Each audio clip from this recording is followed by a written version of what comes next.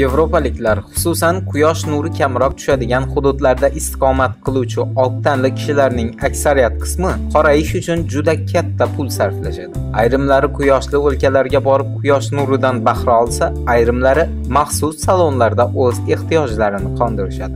Turfa olamning hozirgi videoroligi omadsiz qorayishlarga bag'ishlanadi.